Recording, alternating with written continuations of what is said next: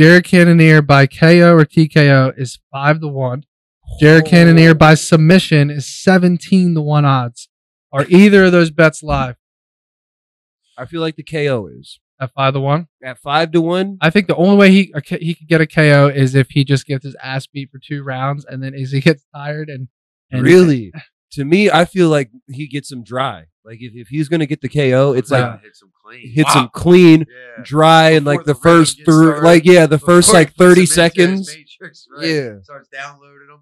I I like that. Uh, early. All right, well, then let's look at this. Cannonier. If we, I mean, if we're, if we're if we're asking like if any of those bets are live, if there's any money to be placed on a on a Jared Cannonier finish, I think it's a very early KO, in my opinion. Jared Cannonier to win in one in rounds one or two is nine to one. We're here live from West Palm Beach, Florida, slapping Vigs with my boy Pete Tree, Pat Downey, and yours truly, Violent Bob Ross, Luis Pena. Our host for the day, Matt Tanner, starting us off. We're going to talk some UFC, some Bellator. We're going to give you guys the greatest picks so you can slap your bookie's head. That was hell of a lot better of an intro than I could have ever done. Oh, my, um, my man was bred for that. I'm telling you, dog, I'm bred. I'm bred for the radio voice. He's a Like natural. Bruce. He's a natural. when, when Bruce retires, Yeah, I need them to hit me up. Hey, hey, you don't even need Bruce to announce it. You're back in the UFC. You just cut your. Bro, I hit him with the Mr. Kennedy. Give me the mic. I hit him with the Mr. Kennedy, have the mic drop into my hand as I do it. That'd be great. You gotta be a real mark to know who that is. Let's get started. Let's dive right into UFC 276. So, originally, one of the fights we, I was really looking forward to Bobby Green versus Jim Miller. Now, all of a sudden, I just literally pulled up my phone 10 minutes ago and saw on Instagram that Bobby Green is out. Who's replacing him for Jim Miller? Donald Cow- Cowboy Cerrone, it was. What do you guys think about this fight? Who you like here? The odds are not even out yet. That's how recent it was. I'm gonna go out on a limb here and say that they're gonna have Bobby Green was minus 335 favorite. I'm going to go out on a limb and say that Cowboys going to be a minus 200 favorite. That's my guess. And I could be dead wrong on this, but who you guys like in this matchup? As far as your prediction for the uh the odds, man, that's hard to say because you know these bookies when they when a guy steps up on short notice, they like to make him the underdog just because he is stepping up. But then again, Cowboys coming off a camp. Um, he did just cut weight recently to make 55. Like what was that last week? Where the the What's Jim on. Miller coming off of? Career um, wise, I think L's wins. no, I think coming I think Jim Miller's coming off a dub, a couple dubs. I, I, I would have to agree with Matt. He's gonna be the, he's gonna be the favorite. You think sure. Cowboys going to be the fave? No. You think? No, I don't think Jim Miller's not. going to be the favorite here. You don't? No. No, no, you're that's what that's what I was saying. Oh, you're saying. I okay. think I think Miller might be the favorite because he's coming off. I think I'm pretty sure Jim Miller's coming off some dubs. He's just coming off a win against I'm Nicholas agreeing Motta. with you. Then they're gonna Nico give- Motta. Yeah, yeah, I remember that fight because Yeah. uh, I, I happen to know someone that knows him pretty well, and uh, they were talking about that for a minute. But yeah, no, um, So Cowboy could be the favorite.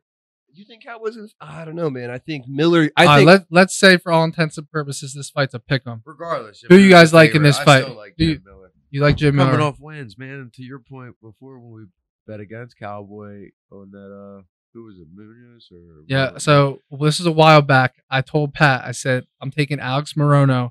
I had him on the money line, on a knockout, and on a first round knockout. I hit all pick. three bets against Sick. Cowboy. And Cowboy's coming off that loss against McGregor. He hasn't looked the same. He's talked about how he kind of gave up in that fight.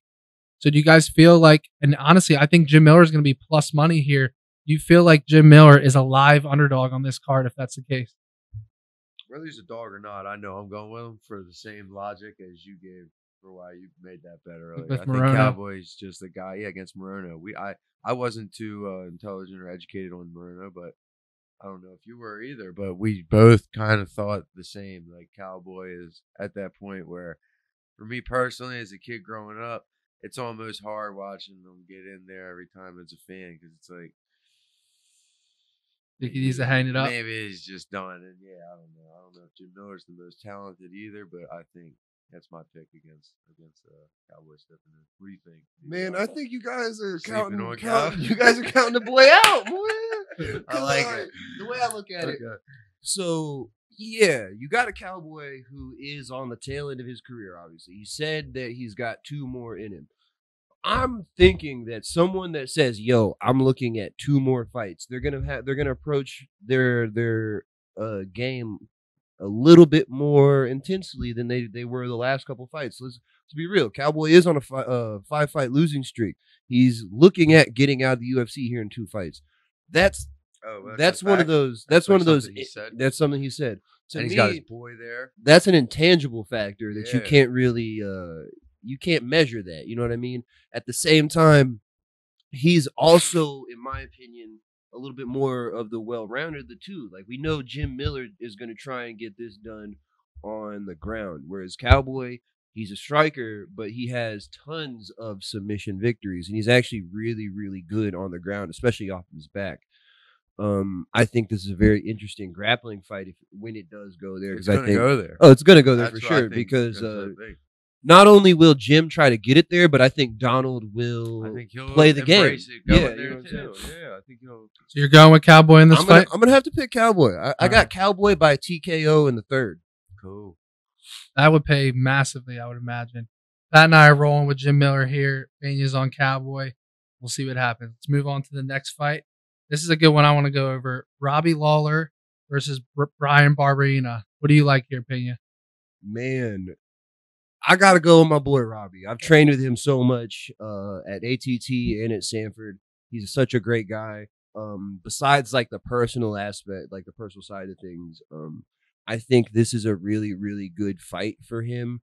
The only thing I don't like about this fight for Robbie Lawler is the fact that, in my opinion, this is either a banger where these guys go out and slug it out, or Barberena wins a really boring decision.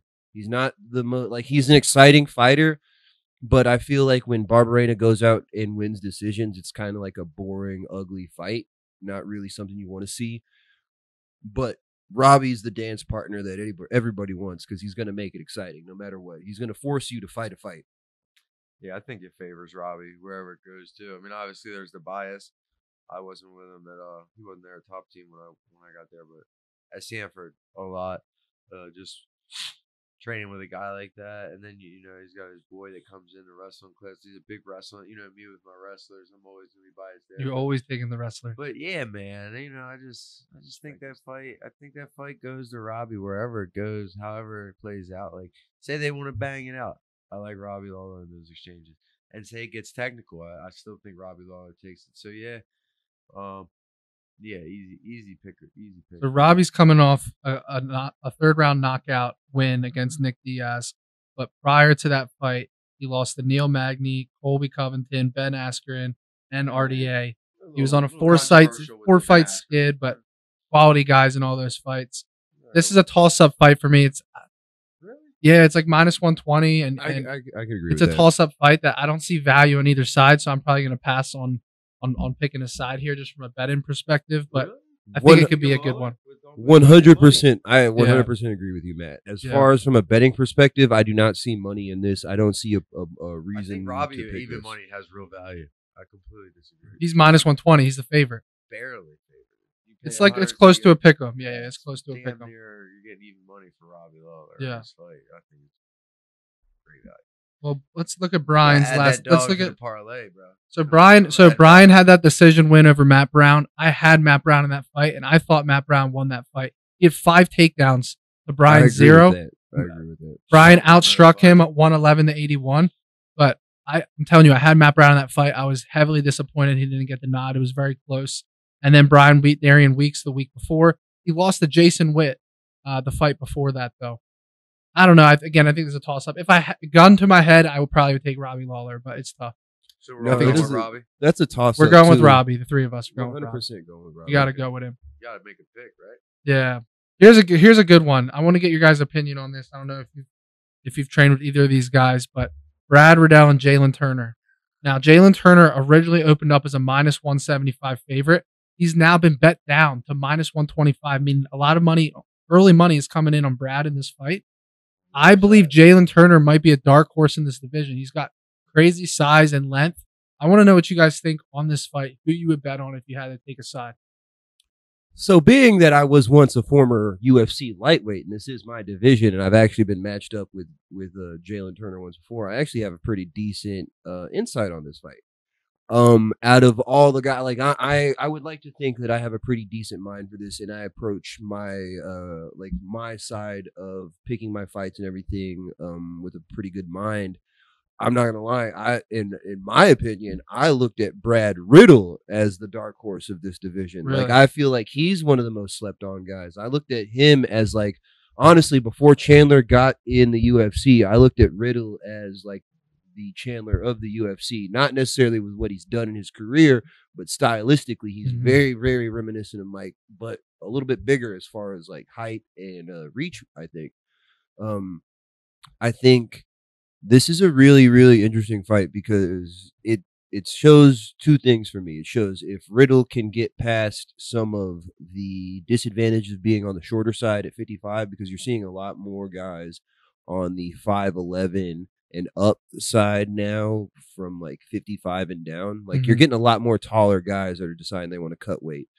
And then um and uh, the other aspect is this is for me is is Jalin Turner ready for those elite guys? Because in my opinion, I put Matt or I put Brad Riddell at a uh, as an as one of those elite guys who's just not being talked about yet. I think he's right there, uh, about to crack the top ten.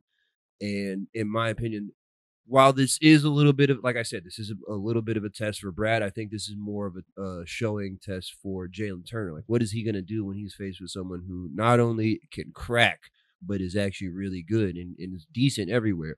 Um, if I'm gonna have to make the pick, I would pick Brad Riddell personally, just based off everything I've seen in um in their fights. I think uh, Jalin's a little bit slow and he's he's decent on the ground, but I think Brad is is good enough to to mitigate all the things that Jalin might throw at him.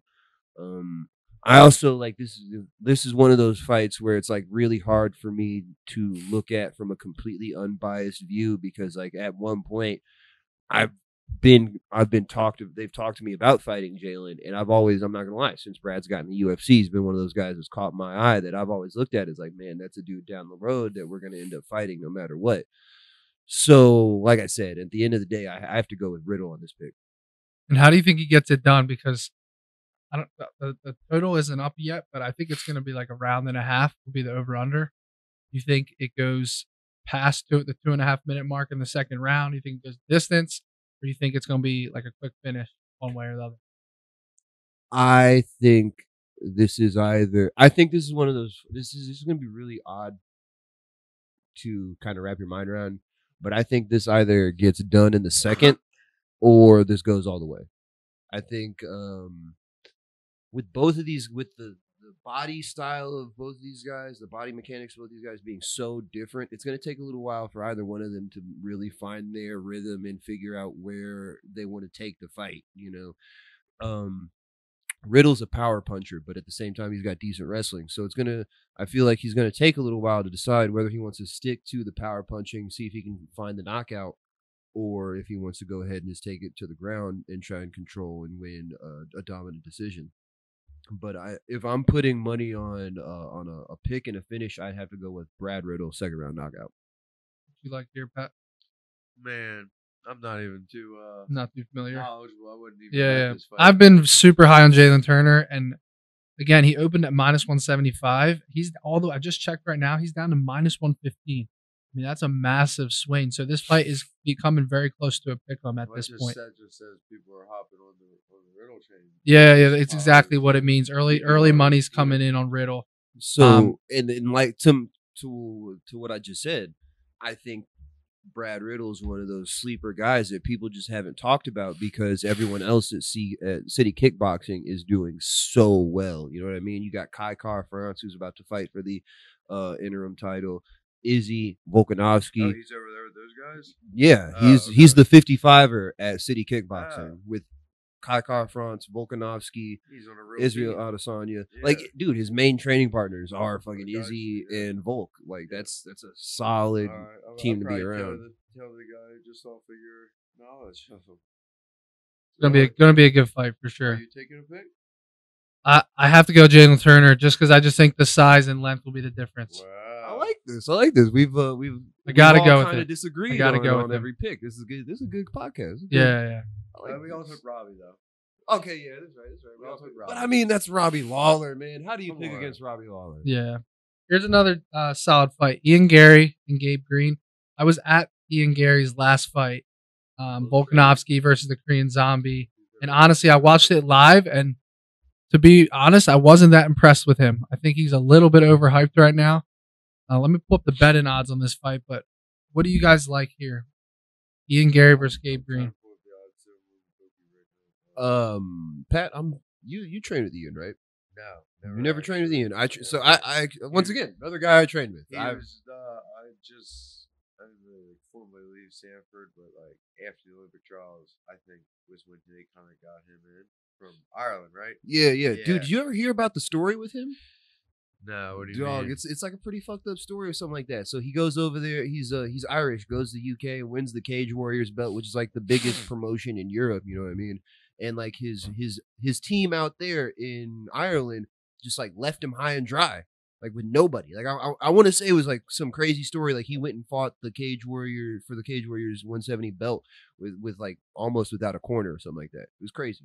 Mm, but he still got it done. He still got it done. Oh, respect. Respect. Fuck it. Well, Cool. one hundred percent. Seems like a good. uh But no, man, I trained. I trained with like him. No, dude. Ian's really good. And to uh to what you're saying, Matt, I don't necessarily think he's overrated. I think fans and promoters, people in the sport, I think we start getting um we start putting hype way too much hype beside behind some of these young guys and putting way too much pressure on them to perform at a level that it's not necessarily that they can't do, but that they need to grow into. Like I'm, I'm not gonna lie, I would I would personally probably say like that's something that kind of happened with me in my career a little bit in the UFC. Um, is when I was coming up when I first got there. It's like everyone was like they saw the things I did on the Ultimate Fighter.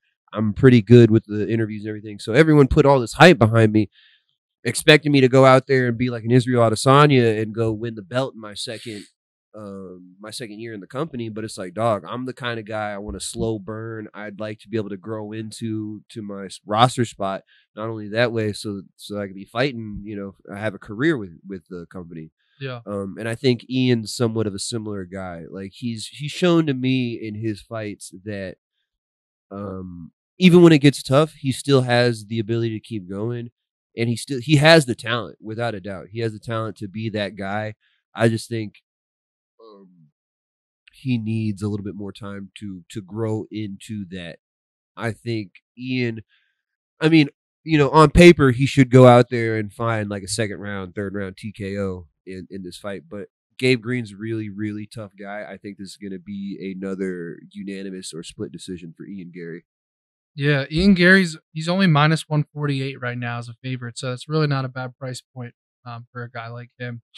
Um, Gabe Green's coming off of two straight wins. I mean, I I would like to see what the the odds are on an Ian Garry decision. Bet you can get that at like plus one fifty or so. It's not up yet, um, but I think that would be a solid. That's probably where I would put money on this fight. You know the decision you're saying. Yeah. I mean, if you if you know anything about this Gabe Green dude, he's a tough son of a bitch. Like Yeah. he he'll take a beating and then come out of nowhere and just win the fight. Right. Yeah, I, I like the decision there. Next up, here's a really, really good one. Pedro Munhoz versus Sugar Sean O'Malley. Woo! This is the I'm dog. going with This my is dog. That boy, the American top team Brazilian Yeah. Pedro Munhoz. What you fuck you mean, boy? You think I'm gonna pick against that boy? That's my dog, Pedro. He getting in that boy Sean O'Malley ass. Fuck you mean? How's Dog he? of the night. So he's plus 215 right now as the Yeah. underdog. Do Dog you like him night. on the money line, or do you think he's going to knock out Sugar Sean O'Malley? Boy, he getting in there. He getting that ass with a motherfucking leg kick TKO. We gonna call this leg kick TKO number two for O'Malley. Boy's getting in that shit. TKO, TKO, they kick uh, first round. Cheetos. I don't know, man. This could be a second round TKO. I'm telling you, man. Pedro Munhoz is i- he's one of those one of the few guys I have a lot of respect for, bro. In the room, in the room, I love. He was one of the few like 35ers other than Petr Yan that would like come up to my big ass and be like, "Yo, I want to go with you." And like we just get to banging. And Pedro's one of those guys. He slings. He, he loves it. He's a fighter, bro. And not only that, but he's a great guy. Always brings his daughter in the gym. Like she's. It's just. It's, he's a really, really. It's hard to to not like a guy like Yeah. Pedro Munhoz. So That's it's, what makes these pickums hard when you get our opinions. We're training with a lot. Of Yeah, yeah, that's it's a good it's a good topic. It's a good topic to talk about because like I hate seeing your people lose. Too. Oh no, with, without a doubt. Like if if uh, Sean O'Malley goes out there and does what everybody's expecting him to do, because look, he's, he's I want to say he's plus He's two like- fifty. dude, Is he plus everyone thinks he's winning this fight. so right Who? now Pedro is a plus two fifteen underdog. Crazy. Sean O'Malley's minus two sixty. But here's the they thing. They just think your boy. Here- here's the thing. Here's the thing up. about here's the thing about the betting side of things. When fighters have hype behind them and and massive publicity, I mean, Sugar Sean O'Malley's got like seven million followers on Instagram, right? When guys have hype and stuff around them, the betting odds always shift based on that. And as a sports better, you can find value on the other side because of how much public action is coming in on that fighter and Sean O'Malley. So if you like Munhoz here, plus two fifteen is a really good number. And here's Dog the thing night. he's lost four of his last five, but it's against guys like Dominick Cruz, Jose Aldo, Frankie Edgar, Aljamain Sterling. So he's Guys. lost to really Mm. credible guys that I think would destroy Sean O'Malley if we're, if we're being honest. I'm going to say, was, and that's what I was going to say. Strength of schedule all day. Pedro has fought champions. O'Malley hasn't has, hasn't True. even re- dude. O'Malley's known for going in there with a guy who got famous for beating him up. For O'Malley Chris, beating him uh, up. Mutun, uh, Moutinho, yeah, yeah. whatever the hell his name is. Did you see he got Oliveira. TKO'd his next fight too? Yeah. But the, okay, here's here's the big thing for me about with uh Pedro too.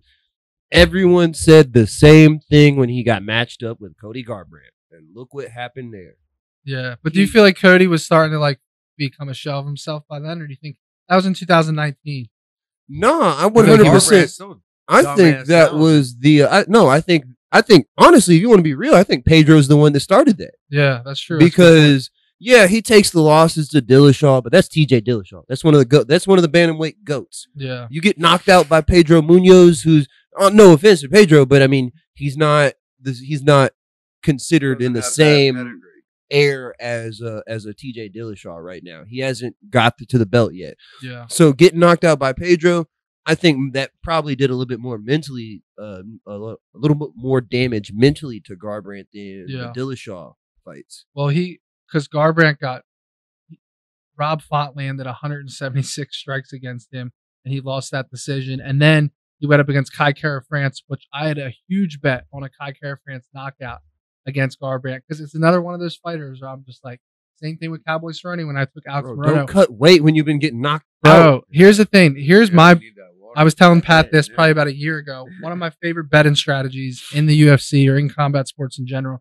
is not picking a guy that you like to win, but picking against the guy that you feel like is just on his way out. I did it with Alex Morono against Cowboy Cerrone. I did it with Kai Kara France getting a knockout against Cody Garbrandt. And I love doing that. And that's why I think there is some value in Jim Miller, you know, Right. in the in this If matchup. And I'm gonna wait to see If what the odds dog, are. Yeah. And I also think, and this has nothing to do with Sean O'Malley because obviously Sean I still O'Malley's not on his way out. But I do think when you, I like betting against fighters that are now going up, stepping up in a level of competition, and especially when I'm getting odds on it too, like plus two fifteen on a guy like That's the Pedro. Munhoz. That's what I'm saying. The I think of the night. It He- sounds like it's all him. three of us like to have him as the dog of the night. I'm going. I'm going to tell him. The only over. thing I will say to that is the one thing I think you guys are forgetting about is Jim Miller's in the exact same spot in his career as Cowboy. Yeah. He's on his way out. This is a perfect matchup for Cowboy. If there's Yeah. if there was a ma- if there was a a matchup to give Cowboy other than As Joe opposed Lauzon, the other ones that he's had too. So you can see the UFC work. I didn't know Cowboy made that uh, statement. yeah, like no, he's he's So because now he you're wants gonna be see the first. UFC catering. Because he wants to to get the 40 fights. No, he wants to get to 50. 50 fights. That's right. 50 uh, Zuffa fights. So he wants to be the first. you can see that they're making the matchups more fucking feasible. I know for him. Like, the, the fact that they try to do the looks. Lauzon. Yeah. oh, You- That's that is the one point. thing about about combat sports, man. They I Yeah. feels like, especially the UFC, bro. Yeah. You start going on the way out, and you're a Uh, big name. uh. like, look at Anderson Silva. Uh. Why are you fighting Uriah Hall in your retirement fight? Killer. Killer, nigga. Why did he ever fight Stylebender? Yeah, cool. Why did that happen? I don't know. He's just that good, dog. But Look at Anderson is that good. Anderson in boxing. Hey, he is that good. He's my Anderson or favorite fighter. He's the reason I would love to see fighting. that. I would love to see Jake it. Yeah, I would love to see that. I think Anderson's knocking him out. I do too. Oh, no, I'm not. I hate to to stir because we got to get right. We got to get back to UFC. But y'all see, uh, Jake Paul, Tommy Fury, finally Yeah. that got Day re- before my birthday, August 6th. August 6th. Yeah. What do you think's gonna happen in that fight? I think we're gonna see if Jake Paul's a real boxer or not. This is gonna be the first time he's gonna. Ha- I think this will be the first time he actually has to go out there and box. Because I've said this from the jump, and Pat, you know, I've quoted this. He- when he picked Tyron, he picked the most credentialed UFC fighter that he could go out there and feasibly beat, and a five-time UFC champion as a wrestler, not known for their hands, but known for one-punch knockout power Yeah. These then- like that's honestly, bro. Uh, if you look at the Jake Paul, the way he's approached his entire boxing career, dude is smart. Like Yeah. he's he's figured it out. Like he's called out all the right opponents, all guys that will not only that are beatable, Jake but Paul, will come back Usman. to him. It's like saying that if he closes out Kamaru Usman, he, which he has, how is that not credible? It's a UFC champ. Just because Kamaru, we know him as Marty from the wrestler Nebraska, Carney. Just because that's him doesn't mean that Jake Paul can't knock his ass out. No He's still way. taking the UFC. Yes, bro. You think This he'll knock out has Kamaru hands. Usman? I'm trying to tell y'all. Jake Paul, sleeping on Jake fucking Paul. Jake All right. Paul ain't got no hands, bro. Bro, if he hits somebody else with his overhand right and drops Tommy Fury, what, what you gonna say then? I'll get like look at this point. At if this he point, if he drops haters. if he drops Tommy Fury, Haters. I will give that man the respect he deserves. Bro. All right. But you ain't getting shit for knocking out Ben Askren and Tyron Ty, Woodley bro, from me. what, bro? Come on, Bro, I can't believe you just said that Jake Paul would Nate knock out Marquardt Kamaru talk, knocked out Boxing. Tyron Woodley. I understand in boxing, but yes, you're talking about somebody who has a whole lifestyle and camp and all the a- asset and funds and resources available, And still ain't good. at the highest level. And that nigga still all right, all right, let's get away from this. he Jake might Paul not be shit. good, but he's All right, rich. here's here He's uh. I want to get your guys' opinion on this next fight because I'm very very We're on intrigued. the main On, card right now. yeah, yeah, we're on the main card. I'm very intrigued by this one. Sean Strickland versus Alex Pereira. This is an absolute banger. I believe the best value on this fight is for it to go to distance. I think that Well, I think. I think Alex Pereira might win a decision. Um, because Sean Strickland is a tough motherfucker. Yeah, Like, I got Strickland, man. You have Strickland in this fight? Yeah, this guy I just think- relatively new. I think compared to a yeah, but I think Alex has just more versatile striking. Bro, as a kickboxer Strickland and, like, Strick- to grapple or do any other MMA, this guy per- dude, Pereira is going to get so exposed. I mean, I don't-. I don't think so, bro. Did you see? His, did you see his fight against Bruno Silva? Is he grappling? Did you see his fight against Bruno Silva? Did you watch that I fight? did.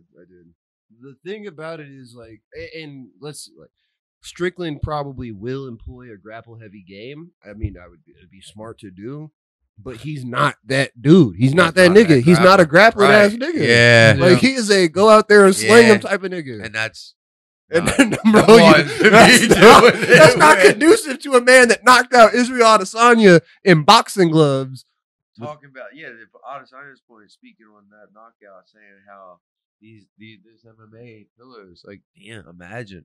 And did you Okay, see? Did that you so- see knockout Have you? But have you Boxing seen? Uh, have you seen the fight? The the first fight because they fought twice in kickboxing. Adesanya arguably won the first. Like it was a, a split decision the first time, and you could say Adesanya won. And then the second fight, Adesanya was getting his shit until he until that knockout. But at the same time, Adesanya getting in his shit up until that knockout doesn't negate the fact that that nigga Alex Pereira hit that boy with that one hitter quitter said Yeah, bye. night, night. Like All if he does that, the if he you're does that shit, him and May with the four Like, with a ounces. Yo, you know that's what's- all I'm saying. Like the same thing. And here's the thing: in 2018, uh, Sean Strickland was knocked out by a kick. In 2018, he was knocked out by a kick, and then in 2017 he lost to Kamar Usman, but he has not lost a fight in four years. You know, he fought Brendan Allen, he fought Uriah Hall. I thought his fight against Jack Hermansson was, I mean, it was very boring. Oh, And- dude, it was. He just he coasted his way to a decision there. Um, but I don't know, man. I, I really think the UFC wants to see Alex Pereira versus They Izzy do. eventually, and I almost feel like this is a, a an opportunity for Alex to get a decision win here. Just point fighting. He's going to be the more versatile fighter. He's going to. It's only a three round fight. I just feel like he's going to do enough to get it done. Um, and I think Strickland won't get knocked out here, but I don't think. I just don't see him having enough volume against Alex to, to, to win this decision. It's interesting that this is at 185 too, because I think if Pereira wins, this is the exact same situation as when they gave Dan Henderson the title fight against Michael Bisping. You know, like to get that win back. And like, let's be real. If you're the UFC, that's the one, like the only dude that's ever knocked out your champ or it's ever really touched your champ. Although I do want to say, uh, shout out to Artem Vakhitov because I think he won. I think he like uh, Alex Pereira's last two glory kickboxing fights where he won the light heavyweight belt. I think he lost those. That boy Artem Vakhitov from Russia, that boy whooped that ass. Really? They they had glory hoed him because he's Russian and they just um they just like axed all their Russian fighters. Now the Russian, the Russian guy though, Artem. Yeah, Artem, a he- badass. I think he's I think he got up in Alex Pereira's ass. Yeah. I'm gonna have to agree with you, Matt. I think it's a uh an Alex Pereira de- decision in the third. Well, I mean, obviously decision in the third is going all the way. we got the decision with Pereira, Matt, and DBR. I'm gonna have to agree with. Matt. Yeah, I see the setup, but I still just think the vetness and savviness of Sean Strickland and his streak. Yeah, talk to the mic. Can't hear you. Yeah. I think, I think, I think Sean Strickland. He's a vet. I think, I think. You're going with a Strickland gonna show- decision? Yeah, I'm taking Strickland. Fair enough. We're split Yeah. two one on that one. All right, Yeah. moving on. Alexander Volkanovski and Max Holloway. Now, here's the crazy thing about this fight. I would I would make the argument that 80 or 90 percent of people are going to be on Volkanovski here, um, and he's a minus 180 favorite. Now, from a betting perspective, these first two fights were very close for the most part. You know, so minus 180 is is significant juice there. What do you guys think? Do you think Max Holloway has a chance? And if so, what does he have to do to win this fight? Shit, For- I thought he won both fights before. I'm not gonna lie. I thought he won both times. I times. definitely. I I'm on the side. thought that I definitely both. think he should be the champ now. I think he won the belt the first, or not the first, but the second time for sure. I think he won the second fight for sure. Um, the first one's a little bit more of a toss up to me, but this is one of those like I've never seen another fighter in that position where they where not only do you feel you've won the fight, but a majority of the public thinks you've won the fight twice against the same opponent, and it's for the belt. Like, uh, this is one of the weird, the first times where you- you're ever seeing a trilogy where uh, a guy is zero and two in the trilogy as well. Um, That's true. with it still being competitive, like we, we're sitting here talking about it like like this is a toss up. Um, That's why you got to take Holloway, in my opinion. It is a toss up, and for him, what's he? What's He's at plus 160 right now as Yeah, an How underdog. do you how do you not take that? I don't Yeah. know. I don't So know. here, it's just the fact that the judges have have never gone on his side in this matchup. That's very hard to yeah. very very. So what would you take if you had to bet it? Because plus 160 is a nice spot for if you think it's a toss up fight, right? That's here's- what I'm saying. I mean, if, value as a better. if I'm- me, is not you can't pass that up. Like as, Yeah. as a better, if I'm betting, obviously I'm betting on Max Holloway, but do I think he? I, and if you're going to ask me, I think he's going to end up getting fucked again and robbed in a Volkanovski split decision. Like that's just probably how it's going to be. another decision, right? Another decision. So how? So you, is there any Holloway's chance? got to win by decision. Is they there got to any- dethrone Volkanovski. Think Is- about the movie. They have to set up something. But then does that do you automatically give Volk the rematch? Of course. Or Mm. Ortega. I think you Well, why do you want to? Why do you, Or- want to see that a fourth time? Yeah. We fight. Are we fighting that fight for the rest of our lives at 145? That's the only fight. It's kind of like the the Brandon Moreno uh, for, Figueroa. but at, the- at the Right? same time, It is though, just like that. It At is 20 just like that. but at You have 125, that who- great, that's a spectacle. who's You who don't- you else? don't not Like see I it. like Kai Kara France, Who's but I just don't think I don't think there's anybody else right now that's truly deserving. Yeah. Like Kai definitely has done his thing to to to get to the belt, but it's like dog. You know, Those guys are so high level. Those guys like they're pushing each other to a new Ortega. to a new height every fight. Like, what's the point in seeing anyone else other than Moreno and Figueiredo? I like Exactly. Ortega, but the fact that both both men have put that ass whooping on him, like Yeah. bad too. And Max Holloway whooped his ass so bad that man shaved all of his head off, his hair off. I mean, uh, but man, he had he had uh Volkanovski in such a compromised scenario. I mean, he's got some skill sets that just never can never take him out of the game.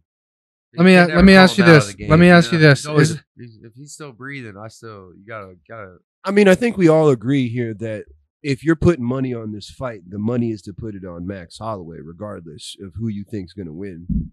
Let me ask you this. I think Max won but the first two times. I think he's gonna win a third time, and for the value of plus whatever, It's He's yeah. no. rock- All uh, right, we're we're Max all we're all Max sure. Holloway as a dog just because the odds make it make sense. But let me ask you this: the fight to go to distance is minus one eighty. Is there any chance that this fight doesn't go the distance?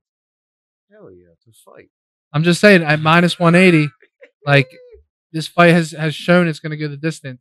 So this is going to sound crazy, but if you asked, if you put a gun to my head and you said, "Who do you?" If if there was someone that that got the finish, I think it's Max Really? because Volk has been rocked a few times in his UFC career. I don't think I've ever seen Max take a stumble. Yeah. Like I don't think he's ever even took His a shot. chin's He's never been knocked out. He's right? ne- never been knocked But out. never been knocked down, never been rocked. I mean, down. Volkanovski just just knocked out uh, the Korean Zombie. That's Koreans. I was at that fight, bro, and That was bad. I think Herb Dean was the ref, and I had Volkanovski by knockout, and I was sweating because it was the fourth round, and I'm like sitting there, and I actually made a TikTok video of it because Herb Dean stopped the fight, but like Korean Zombie's head was like getting knocked back and shit, like the dude was done, but like some refs, you know how it is in the UFC, like some would not stop it, Oh, and I was there sweating, you bro. Die, huh? I was uh, yeah. All right, so we're going. We're all going with Max Holloway. It seems like we like the the fight to go the distance. Is that fair? Or you think it's good I think I think that fight goes the distance. at I minus mean, one eighty? I think that's a good parlay piece. Honestly, I don't Yeah. see either guy getting a finish. I really don't. But we'll see what happens. All right, let's go to the main event. Now this one's very interesting. Israel Adesanya versus Jared Cannonier. Jared Cannonier is coming off a fight against Derek Brunson, where he was getting his ass beat in that first round. I Yeah, but it's bet not really significant dollars on Derek Brunson in that fight. Then Brunson comes out in the second round and he ends up gassing out and gets finished. Cannonier is obviously a huge dude for this division who's cut down a lot of weight. What do you guys like in this fight? Because Israel Adesanya is a huge favorite right now. bro. The only way Jared Cannonier Wow. beats Israel Adesanya is if he out niggas him. Straight up, like there ain't no Like, way. how does he even win? Does he grapple? There Does he ain't no take him down and hold him down? Does he submit him? Does he? I just don't see a, any any winnable scenarios for this guy, man. Yeah, He's because is- man. 'cause he it- needs to fight somebody that can like, Like wrestle him and hold him down. And uh, the dude's the best striker in the game. He is, but Not picking four ounce that. gloves on on the chin would do anything. So I, that's the way I like. If, if Jared Cannonier is gonna get it done, it's a hail mary knockout. I just I can't see like skill wise. Like, dude, Yeah, man, Pat so- just brought it up. He was getting his ass whooped by Derek Brunson, and Beat I the shit and out Adesanya made Derek Brunson look like an amateur when they fought. Like even on the wrestling tip, like he was Uh, he had him he had him on skates. You know, Yeah.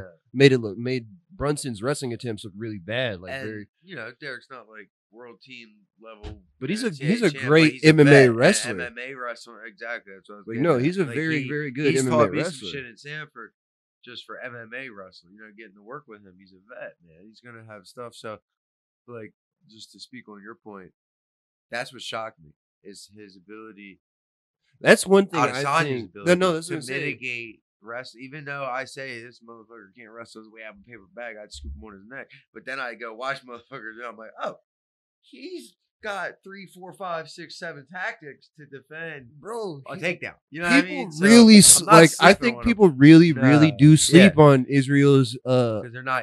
They're not. He's able got good, see defense. what great. he's He's he's Yeah, got great takedown defense. exactly. So and he and, and no. he honestly, I hate to personally say think this. I think Adesanya's just gonna piece him up on the feet and coast his way. But if Cannonier comes in and adopts a Blachowicz, John Jan type method where he's not the best killer, like he's not a Gilbert Burns type style finisher, or he's not a you know Hamzat style wrestler, but he's a big enough guy. Cannonier coming in the next day at two fifteen, might be able to tussle and get some dirty boxing, some clinching, some wall takedowns to where he I don't know, does he hold? Does he ride? I agree with you. Like that, that is probably like the best way to try and get the win. Guy has to fight him, right? You can't just sit there and strike with him, right? And not to take anything from Jan, but I think the only reason he was able to implement that game plan is because of the size disparity. That's what I'm saying. Cannonier might have something. Uh, like you ready that for these say. odds right here, Pat? But we're talking Jared Cannonier by KO or TKO is five to one. Jared Cannonier by submission is seventeen to one odds. Are either of those bets live I feel like the KO is at five to one? at five to one. I think the only way he he could get a KO is if he just gets his ass beat for two rounds and then Izzy gets tired and, and really, to me, I feel like he gets him dry. Like if, if he's gonna get the KO, it's Yeah. like hit some clean. hits Wow. him clean, Yeah. dry, and like the, the first through, like yeah, the first Before he like thirty seconds. Matrix, right? Yeah. Starts downloading them. I I like that. Early. KO All right, well then let's look at this. If we, I mean, if we're, if we're if we're asking like if any of those bets are live, if, if there's any money to be placed on a on a Jared Cannonier finish, I think it's a very early KO, in my opinion. Jared Cannonier to win in one in rounds one or two is nine to one. Oh man, Are you sprinkling on that? What, what's Adesanya to win by uh decision?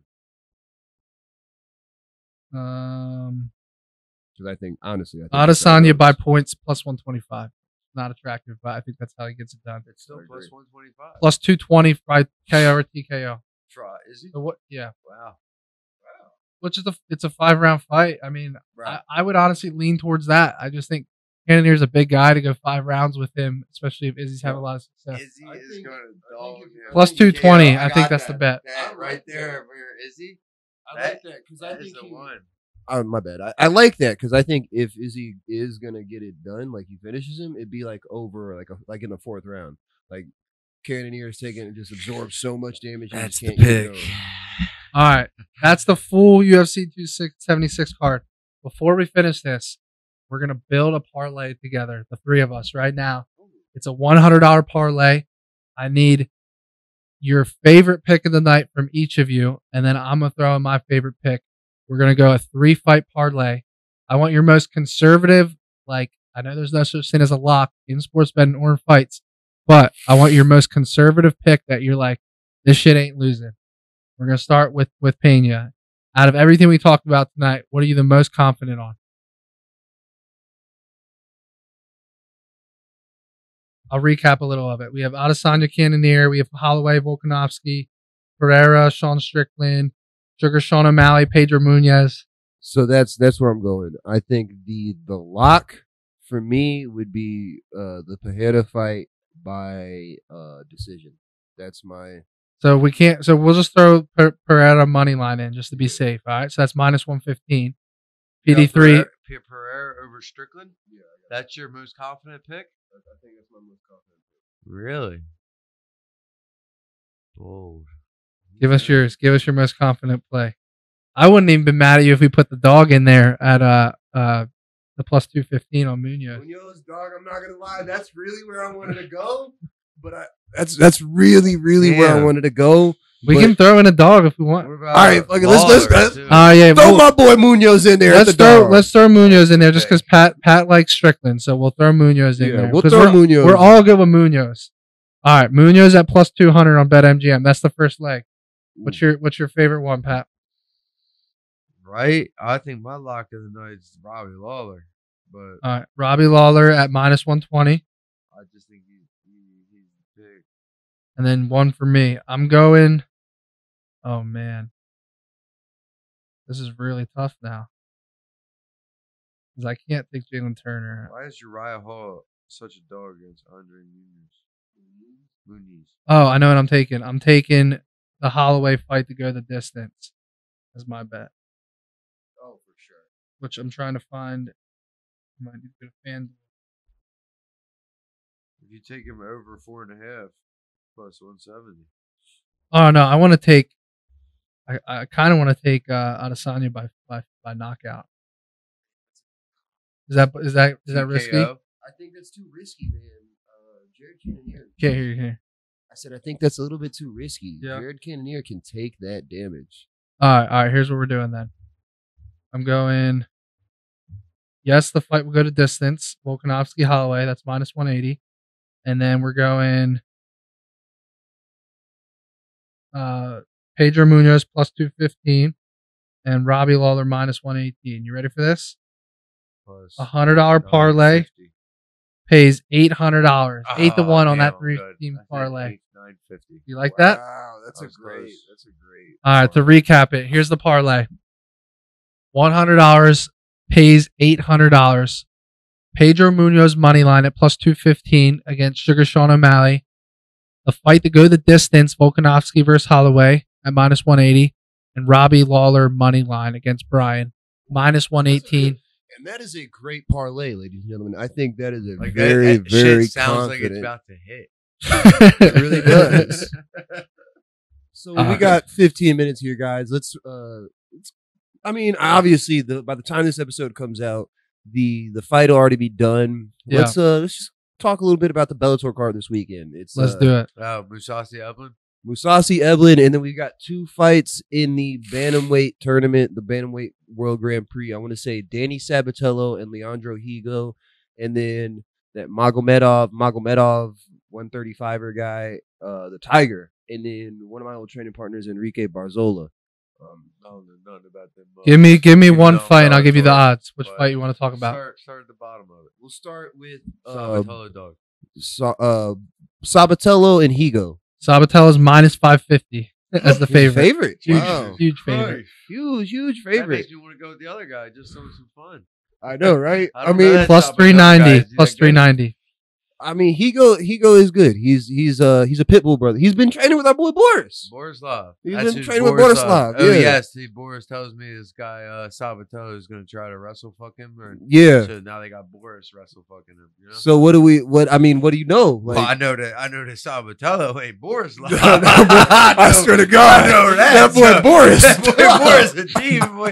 That, that boy can Boris really on some demon. Yeah, time. like, he really liked that. So I so, swear to God, so- he done, he Bor, Borislav done made the goat shed famous. boy Borislav, hey, hey, he owned the shed.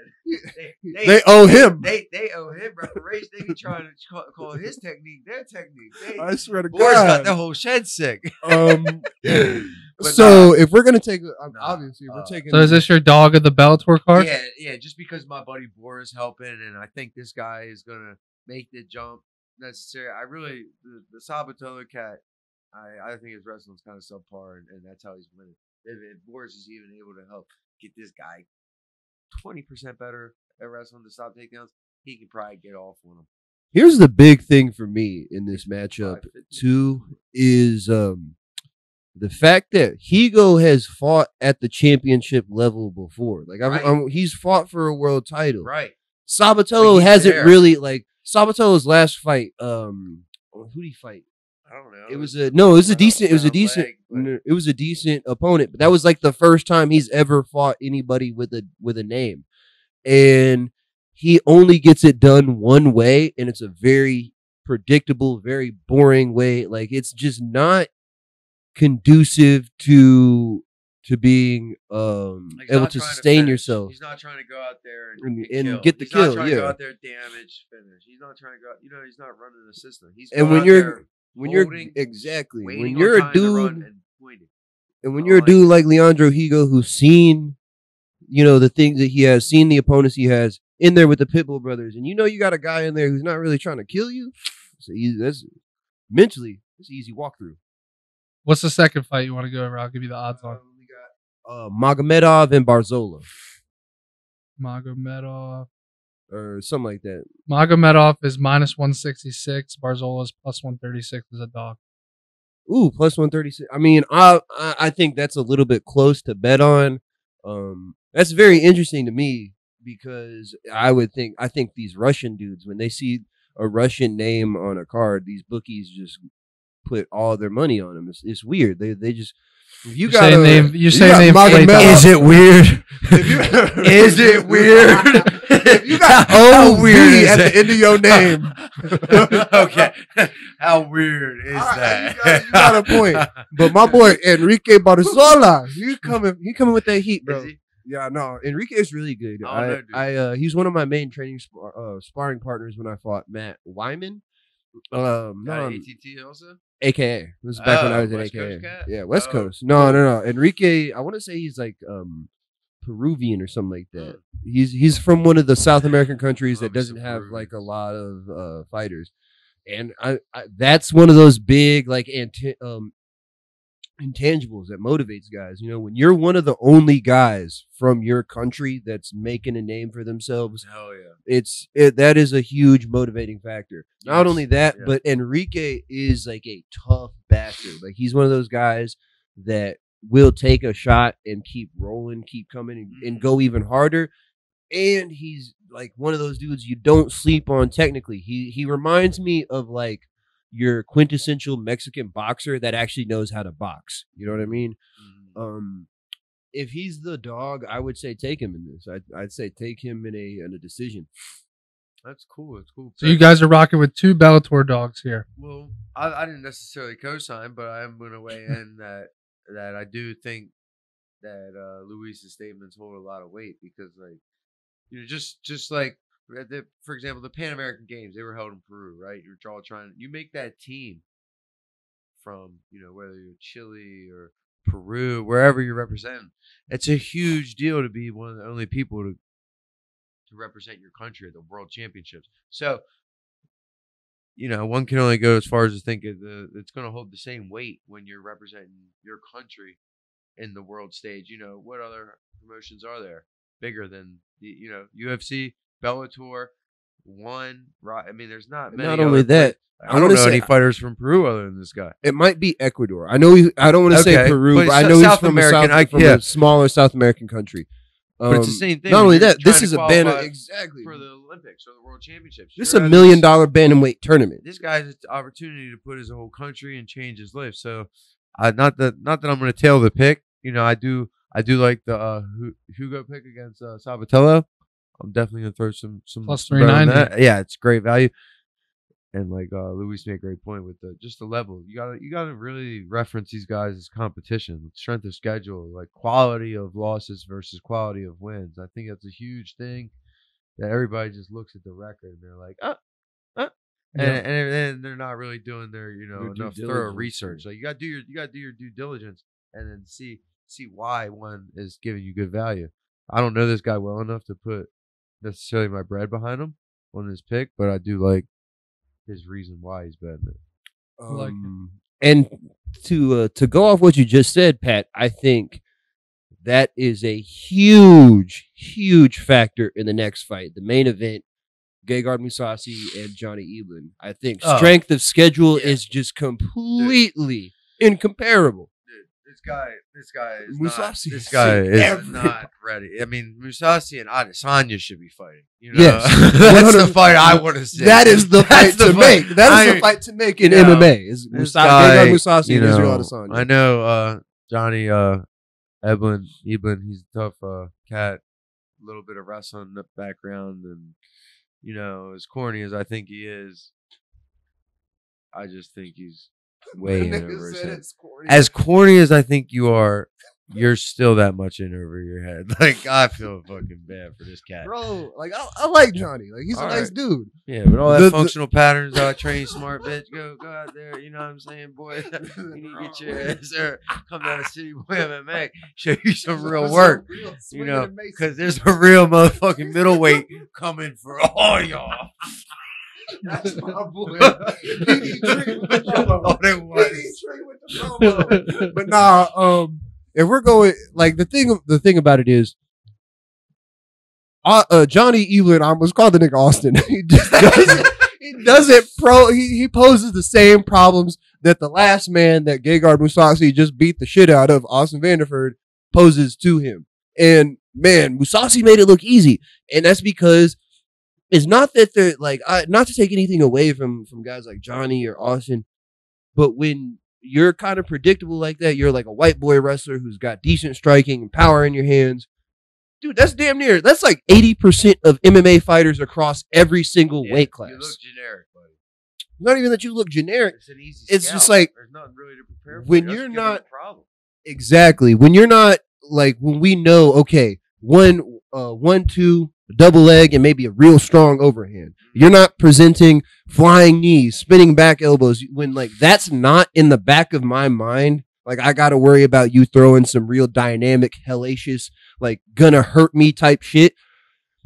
It's a very, it's easy for me to get prepared for because I know what's coming to me. And we're talking about Gegard Mousasi, a man that fought Mark Hunt, a man that he's fought Mark Hunt, Melvin Manhoff, um, Uriah Hall, Tim Kennedy, Chris Weidman. Dude has fought Vitor Belfort. And even even who just fought that uh one that one real good uh Raphael Before he ever Uh, even in made it into the that. UFC. We're talking about on his tail end now though. After everything you've just mentioned, now we're having a whole nother version of this man. It's almost like like a rebirth. Like this guy looks better right now. I want to say he's forty. uh, I think he's on the on the tail end of 30. I think he's he's Okay. not I don't think he's Cool, 40 cool. yet. You, you know, But the fact of the matter is, Gegard Mousasi has had had three different Hall of Fame careers Right. before the UFC, Right. the UFC, and now in Now Bellator. That's what I'm saying. He looks fucking uh, as good, if not better, than I've ever seen him right now. And the crazy his- thing about it this is, version. he gets it done everywhere. He This- doesn't right. like he's not a striker. He's not a grappler. point. That was Yeah. my next point. He's Like, the minus guy- two fifty in this fight. Yeah, As the fave, Am I hearing that's a lock? yeah. that is a That's the- lock, that's the- definitely- boy. I mean, hey, if Johnny gets this shit done, respect. More, honestly, I will shut up. I will eat no, everything no. I've said. No, I'm like, telling no, no, no, no. You like want you want to know what Pat's really thinking in his mind? If Johnny gets that win, I'm the Bellator champ. That's what Pat Downey is thinking right now. So he wants Johnny to get that Oh, done. trust, trust me, I'm a, I'm a fan. I'm a fan. I'm a fan. yeah. hey, I'm still in the developmental stage. Let me just get a fight under my belt first, and I'll start talking that woo woo. All right. hey, bro, this is the time. This is the time to start talking that woo woo. Let, let- let me show the world I can actually. Do You down with the you with the woo? Let me show them with the shit. All right. Let me show. Oh, there's gonna be some people that don't fuck with me and Pat no more after this one. Yeah, we might have made some enemies. All right, moving on. We we got a couple fights I want to go over in the UFC this weekend prior to the 276 card. I want to get your guys' opinion real quick before we jump off here. So, Neil Magny versus Shavkat Rakhmonov. I'm gonna look into the camera right now and tell everyone here that I believe, I truly believe Shavkat is a better fighter than uh than Hamzat. I believe that Shavkat is a better fighter than Hamzat. I believe that Hamzat has way more hype around him, and it also is uh what's the best way to say? I I think he cares more about the hype and and becoming a big name, and I think that Shavkat is just a savage, bro. I just think he's a- bet the retirement fund on Shavkat. So here's the thing: Shavkat is a Oh, no, no, no, no, sir. The sunglasses are coming off for this one. I'm gonna look in the camera too, because everyone's hype on this dude Shavkat, and I am too. What, like you just said, I think he could be better than Hamzat. But bro, Neil Magny is that dude. Like when Neil Magny is put in these positions, when he's put in that yo nigga, you we're bringing you in to get your ass whooped type of position, he pulls it out. Every time Neil Magny's been in this kind of position where it's like, yo, we need you to take this L. You might, you know what I mean? So what? What? Give me an example. Like, what do you? Because he he fought Chiesa, he lost a decision. He fought Santiago, he got knocked out in the fourth round. He fought RDA, he got subbed in the first round. Like he's he's beaten Jeff Neal, Max Griffin, but he didn't look That's- good against Max Griffin in that first round. that's and see that's what I'm kind of getting at is like I feel like when the uh, the Jeff Neal fight happened, that was a fight that was supposed to prepare propel Jeff Neal. Right, right. And same thing with Max Griffin. Like Neil Magny is the dude that they put up against someone that's supposed like this is supposed to be that big marquee win. You know what I mean? yeah. And yeah, when he goes up against some of like the the bigger names, he loses. He's a gatekeeper. But it's some of these guys that get they, that they match up with Neil Magny a little bit too fast, and we'll see, man. Like you said, I, and I agree. I think Shav, Shavkat is very, very um, skilled. I think he's super talented. But I think Neil Magny is like if there's a uh, a dog to take on this card that might actually win you some like some real money. I think Magny might be it. But how does he win that? How does he win this fight? Because I just don't Boring see a path to victory. A decision. Boring, boring. With what though? Because grappling against him is dangerous. it might be, but like, and Pat can tell you this. A dude that has decided that I'm going to anti grapple, like I'm gonna win this, I'm gonna win this fight by not fighting you, is on can almost be worse than fighting someone that's just that much more skilled than you. Because you can lose a you can lose a fight to someone that's not even as good as you if their whole game plan is to just win that fight without fighting and I, I feel like that's that is we're finally seeing like the the age where that style is becoming a little bit more obsolete but i think that's neil's only way Here's here's all I have to say here. Okay, Shavkat right now is a minus four forty favorite. I'm not I'm not laying that type of juice in a fight. Period. But here's what I will say on the flip side: you can take Shavkat to get a submission win at plus four twenty. Okay, against a guy in Neil Magny who has been submitted before by RDA and and Demian Maia. and I, I, well, I will say this this will that'll prove Shavkat where he is is at in my opinion Yeah, but here's the thing, bro. If I'm looking at just the value of it, Shavkat oh, in his last three fights has two submissions, and Neil Magny has been submitted twice. I get it's by high level guys, but plus 420, I can get on a submission. I Oh, no, think that agree. Shavkat could rock him on the feet and then get a rear naked choke on the ground or an armbar or something. I just feel like there's tons of value there. If you wanted to take Shavkat inside the distance, the minus 150 bet, meaning that he's got to get a finish one way or another within those three rounds. That's something that attracts me a little bit. But if you think he could beat Neil Magny in a decision, that's plus 275. So what do you think about that?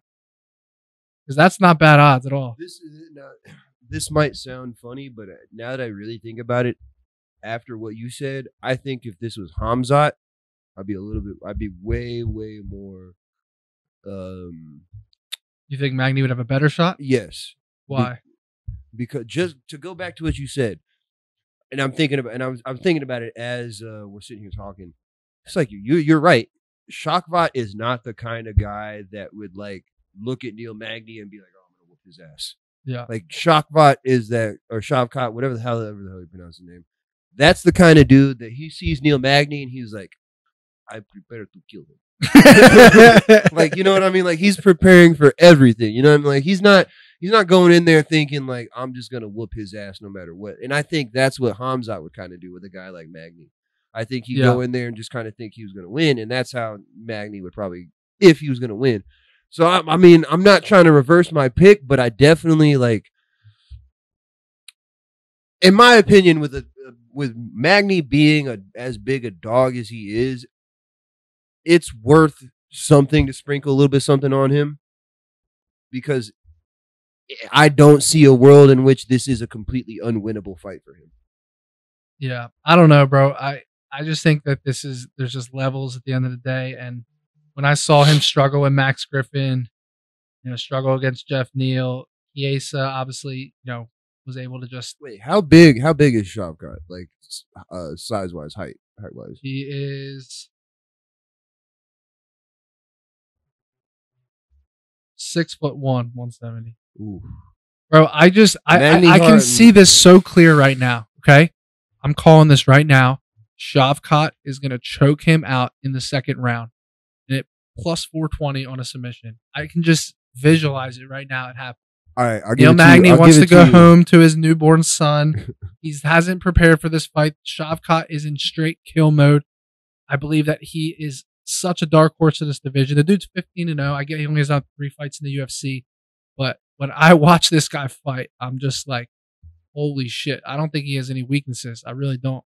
I'll give it to you, Matt. And on that, I mean, they don't do this, but I would even say, like, I don't know why, but I see if he's going to get him with anything, I feel like it's going to be a front face lock, some type of front face lock choke, because Magny shoots a lot, and when he does, he leaves his neck very open.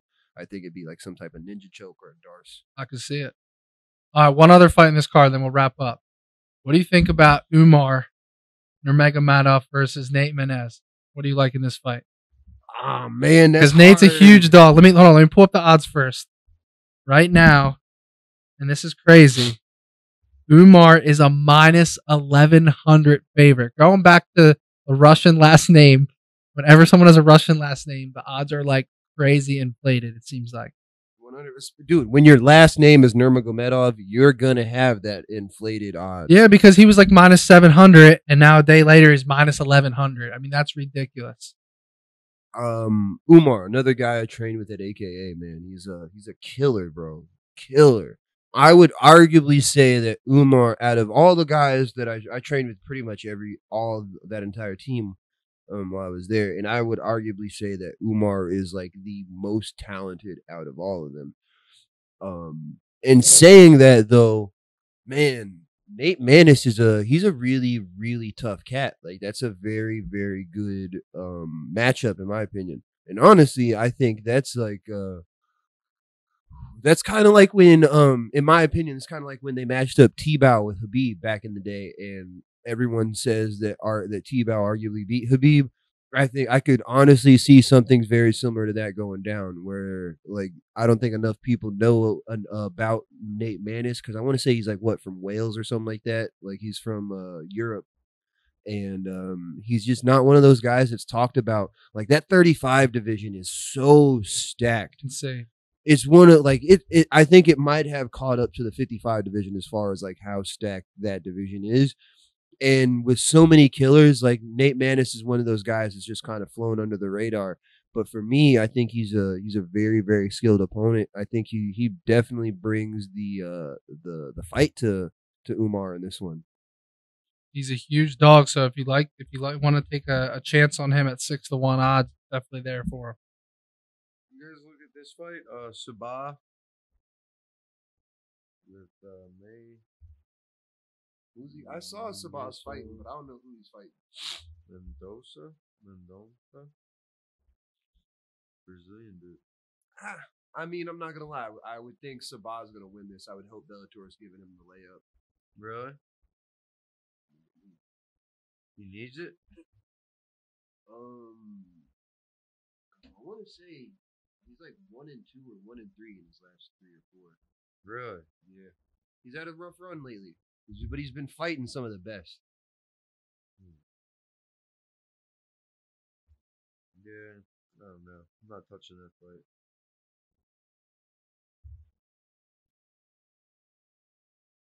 All right, let's wrap up with a quick parlay on the fight night card.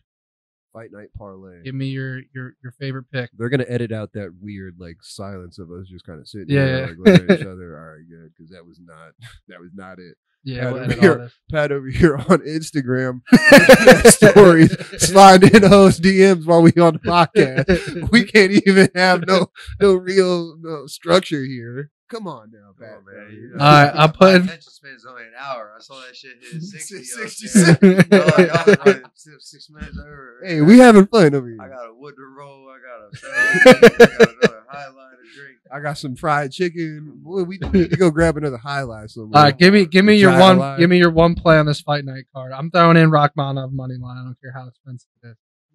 What's the fight night card? This weekend? Yeah, Umar and Nate, Chris Curtis is on it. Uh, What's the odds for the Give TJ me, Brown give fight? me that Russian sounding mode. Nurmagomedov Yeah, give me a minus Nurmagomedov. eleven hundred, bro. Yo, what's Hell the yeah. uh what's the That's odds on the cool. TJ Brown fight? Uh, He's minus eleven hundred. what the? yeah, I don't even see it on. You gotta bet eleven hundred dollars. All right, scratch it. We're not we're not doing the part. No, Oh, that's an impromptu. Won't do it. Yeah, still though, take those two bets. The Russian sounding guys. Yeah, when you see If you see a Russian- eleven hundred, he's probably gonna win. If you see a Russian name on the card, take that name.